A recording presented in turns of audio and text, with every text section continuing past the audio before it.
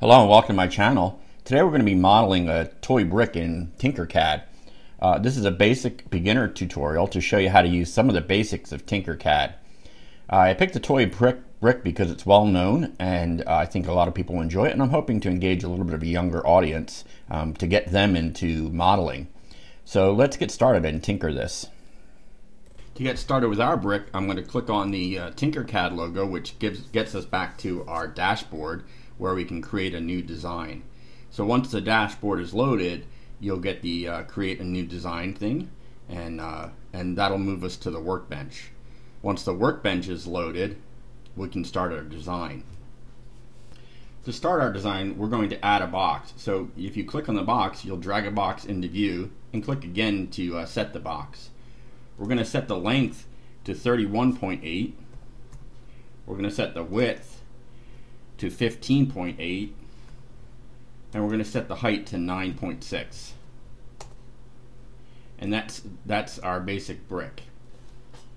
Next we'll be adding a cylinder to the drawing and this cylinder will end up being one of the pegs at the top of the brick. So I'll just kind of put it in the corner for now. We're going to set the, the dimensions by clicking this corner uh, indicator here and it'll give us basically um, a circumscribed rectangle to measure the diameter and this allows you to do both a cylinder and ellipsis with the same tool. Our diameter is 4.84. In the drawing we have a radius, um, so we just have to double that to get our diameter. So now we have our peg, and I'm just going to kind of leave it right here for now. We'll we'll set it tight to um, so the height is going to be set right with this with, with that cursor there, and the height is going to be 1.8. Later on, we'll move that to the top and array it.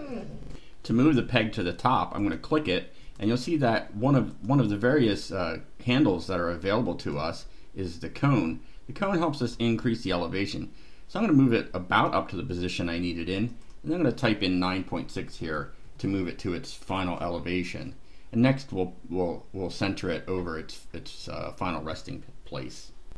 To move this peg to its final position, we need to use the ruler tool. So to use the ruler tool, I'll click it, and then I'll click a point where I want it to land and you'll see that it's in this case it's oriented itself nicely to the to the brick. Um, now to position something, you select the item that you want to position, and it fills in the relevant measurements here. I gotta say I really love this this feature. So the next thing we're going to do is click on the distance from this uh, from the origin point that we selected. That's this one right here. So we just need to put in 3.9 and we'll put in 3.9 here. So what that has done is that measures the distance from this corner to the center of the cylinder. Uh, so the rules, ruler tool, I don't know why I have trouble saying that, is, uh, is sensitive to the object you're working with and is a really nice tool, I must say. So next thing we'll do is we're going to array this, array this peg so we have eight of them on top. To create the line of pegs or an array of pegs, we're going to use the duplicate tool. The duplicate tool has some intelligence to it, so we should be able to create three more pegs pretty easily. So first I'm going to click, click duplicate, and that, so I have a duplicate selected. I'm going to press the shift key and slide the duplicate out. The shift key um, makes it so that the object only moves along one axis. So I'm going to change this dimension to minus 8 uh, and hit enter. So now that's positioned correctly. With the peg still selected, it's important to you're still in the duplicate operation. If you unselect it, you're starting a new one. So now just click this, it'll add another one at 8 and a, and a third one. And those are our pegs. Next we'll add, uh, that's our first row of pegs. Next we'll add our second row of pegs. So to add our second row of pegs, I'm going to click, select all four of these, and I'm going to select duplicate. And I'm going to hold my shift key again, but in this case I'm moving in this direction. And then I'm going to change this value to minus 8 and then we have our second row of pegs completed. Next we'll hollow out the bottom and add legs. To hollow out the bottom we're going to use the stripe box which is a remove tool. So we'll just click that and drag a box out and then we'll need to set its dimensions. So the length is going to be uh, it's slightly smaller and I'll include a link to the drawing and a, and a shot of it at the end. So it's going to be uh, 28.9 wide or length, I'm sorry, and it's going to be um, 12.9 in its width and its height is going to be 8.6. So the next thing we'll have to do is position that correctly within the box. So I've moved what uh, Tinkercad calls the hole, or the so it's a cutting box, or, or uh, whatever you want to call it. So I'm going to select both of those. With both selected, you see the shapes too. I'm going to select the alignment tool. And you can see these are the points that where we can align um, the box. With both of them selected, you have general alignment, so it'll be centered in between the two of them. What we want to do is we want to focus the alignment on the main brick. And you see how the handles have changed but both items are still selected. So now when I align the center, the removal box or the hole will center into the red brick. And now, and with that, we have, I can just click somewhere else, and now you'll be able to see that we have uh, our, uh, the underside of the brick removed. The next thing we're going to add are the are the legs. So I'm going to start with the cylinder, and I'm just going to put it, put that pretty much anywhere. And let's just start setting the sizes for this. So this is the outer uh, diameter of the leg, and that's we have a radius of 6.25, so that's a diameter 6.5, and we'll have to set both of them. There might be a way to set these at the same time. I haven't I haven't uncovered it yet. And then we'll set the height to uh, 8.6, which is the height of the inside of the brick. And now let's add a, a removal cylinder. We're just going to set that to the side so it's easier to see. And we're going to align it later. So I'm going to set the height of this, if I can click it, to, um, so the height, or I'm sorry, we're going to do the radius diameter first. So the radius is 2.4, so the diameter is going to be 4.8. 4.8, and then we'll set this one as well, 4.8. And then we'll set the height by clicking this handle, and the height will be the same at 8.6. And now we're going to use the align tool again to, to uh, center these within each other. So I'm going to do or shift to, to, select both of them and align. And now this doesn't matter which one we move because we haven't positioned it yet. So I'm going to align center and align center. So now we have our leg shape. So now I just got to move that inside uh, of the uh, brick. So we'll do that um, using the uh, ruler tool. And uh, next.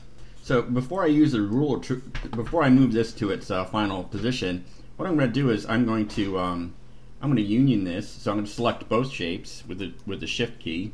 Once I have two selected, I'm going to union it. So now you see it's just our hollowed out cylinder. I'm also going to do that with the, the main body of the brick. So I have two shapes and I'm going to union that.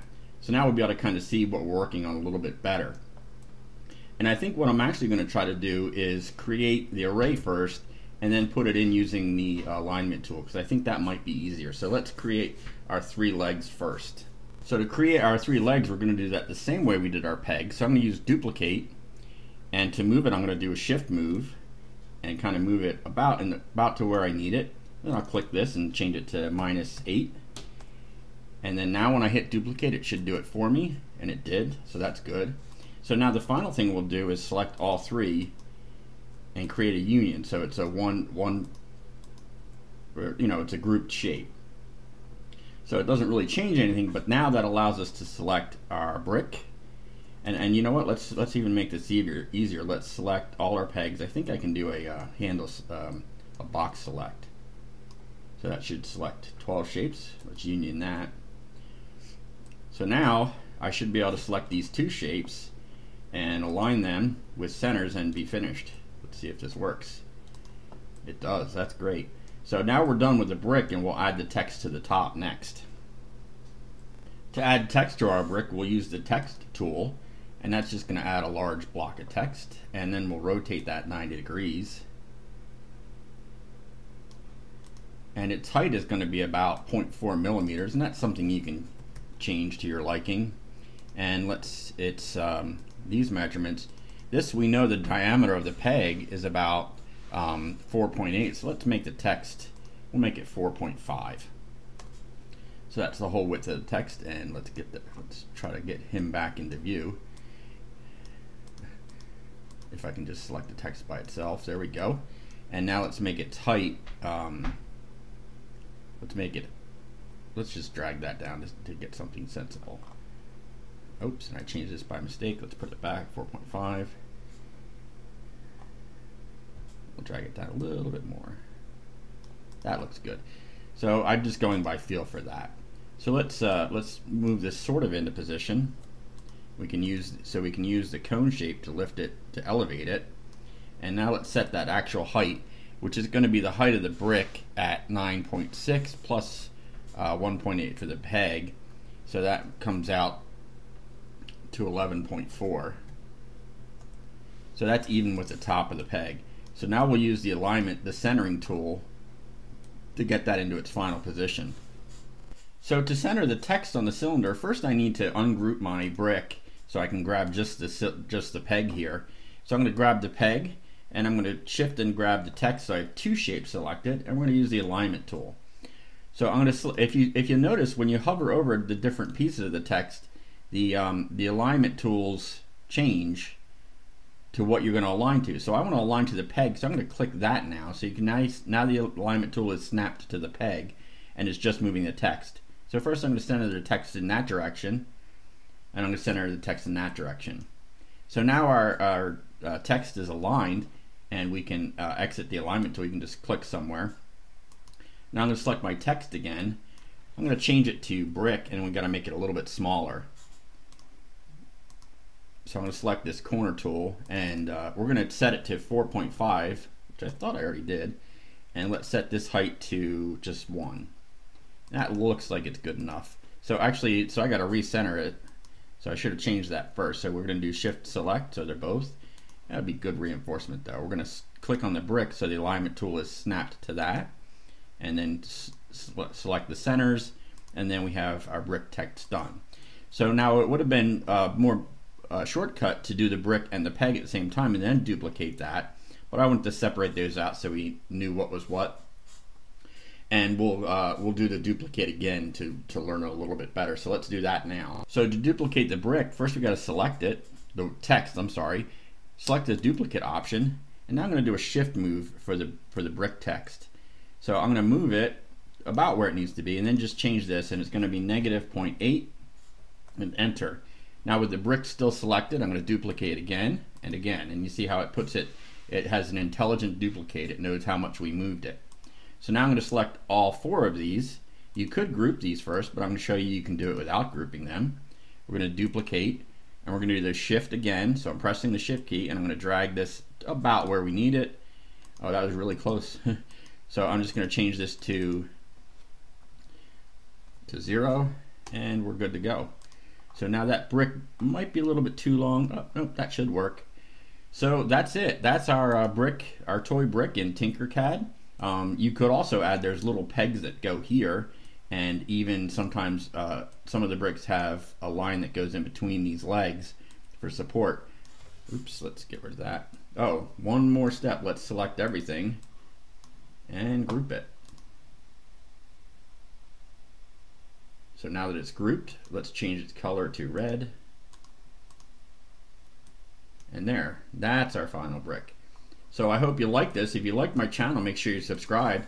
I'm going to be doing more Tinkercad, but um, I'm also I'm also doing each of these. Uh, like when I do the toy brick, I'm going to do it in each of the CAD systems I have available to me.